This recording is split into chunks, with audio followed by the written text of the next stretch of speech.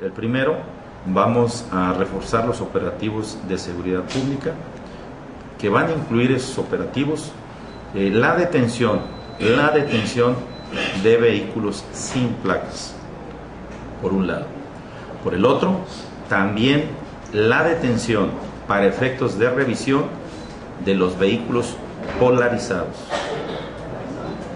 En un primer momento, solo vamos a anotar los datos del conductor y del propietario del vehículo polarizado. Les daremos una semana para que cambien ese polarizado.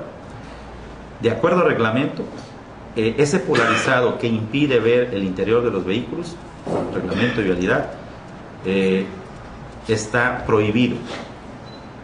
De tal manera, pues, que lo que vamos a hacer es nada más que se cumpla el reglamento. Sí, dado las circunstancias, vamos a dar tiempo para que la gente eh, cambie esos polarizados totales por polarizados más tenues. ¿Cuál es el polarizado permitido? Pues aquel que nos eh, permite ver hacia el interior del vehículo, ver al chofer, sobre todo al chofer, ¿verdad? Eh, que va conduciendo la unidad. O sea, que proteja a los rayos del sol, pero Así que no impida la visibilidad. El polarizado que protege los rayos del sol, ese es el permitido. Ese polarizado oscuro totalmente, oscuro totalmente los vehículos, eh, de acuerdo al reglamento, está prohibido.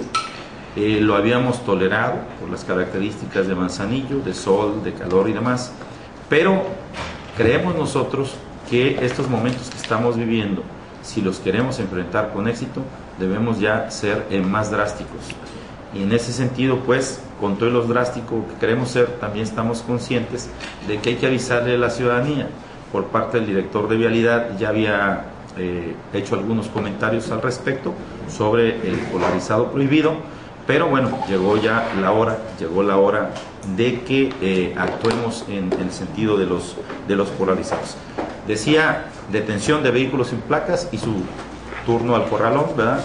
Su envío al corralón, detención para efectos de recabar la información eh, de vehículos polarizados, dejándolos ir con el- un condicionamiento que en una semana eh, cambien ese polarizado total. Sí, eso hay que destacarlo.